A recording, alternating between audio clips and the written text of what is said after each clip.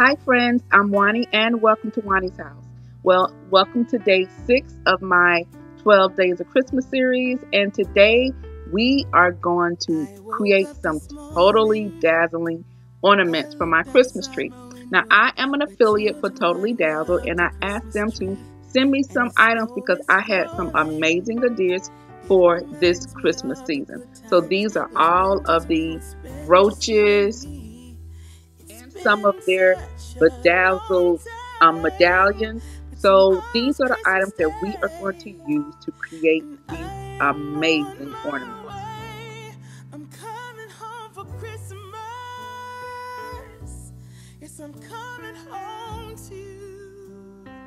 For this DIY, I am using these beautiful brooches. These brooches are so incredibly pretty and I love them because they are gold. Um, you get two in a pack and so I chose this because I'm using gold throughout my home and throughout my holiday decor and these were perfect. Totally Dazzled has a huge array of brooches and medallions for you to choose from. So I was so happy when I saw these. Now, what you're also going to need is your glue gun, some glue sticks, and the ribbon of your choice. I'm using um, a half an inch thick ribbon because because these are actually brooches, we're going to use one of the pin hoops. That is what we're going to use to attach our ribbon. Okay, so the first thing we want to do is take our brooches and make sure that our brooches are in the same direction. So you see I have these brooches and I'm going to attach them horizontally and I am going to attach them. There's like notches and they should like fit into each other almost perfect. And that is how we're going to attach them um, together and we're going to hot glue them.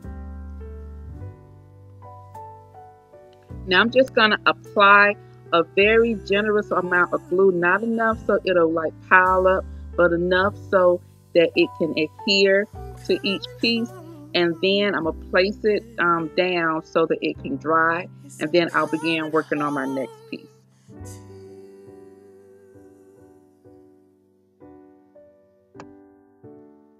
Isn't this beautiful? It looks like a really nice pair of fancy formal earrings. These items are so pretty. And if you're creative, you can create a lot of different items using these. So now that they're drying, I'm going to get I woke up this morning. I looked outside my window where children lighting up the Christmas tree and the snow is falling. So here I was trying to decide whether I wanted to tie these in a bow or if it looked better in a knot. So I'm going to show you two of them with bows and then probably one with the knot. And you would just have to wait and see which design I decide to go with in my um, office tree reveal video. So here are my ornaments and they are so amazingly stunning.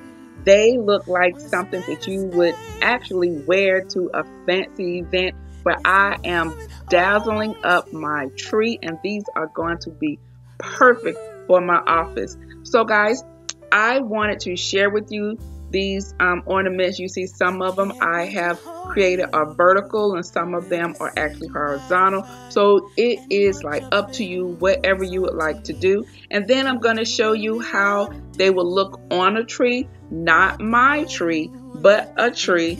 And they look really nice. And as you see, the bow kind of stands out a little bit. And it is really cute this way. But I think on my tree I'm just going to tie in a simple knot. And I think that will be perfect for my tree in my office. So stay tuned for that office reveal. If you are not subscribed to my channel go ahead subscribe. I have so many more great DIYs cooking videos and house tours coming up for this holiday season if you are an existing subscriber, guys, you already know that I love you. I appreciate you.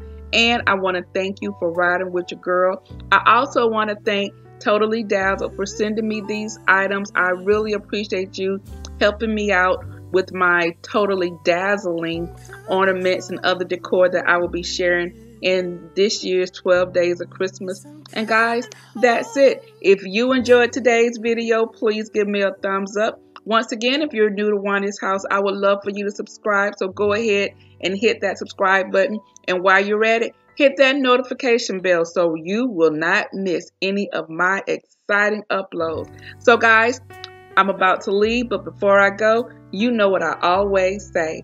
The next time you're in town, you can always stop by Juani's house and I'll see you in the next video. Bye-bye.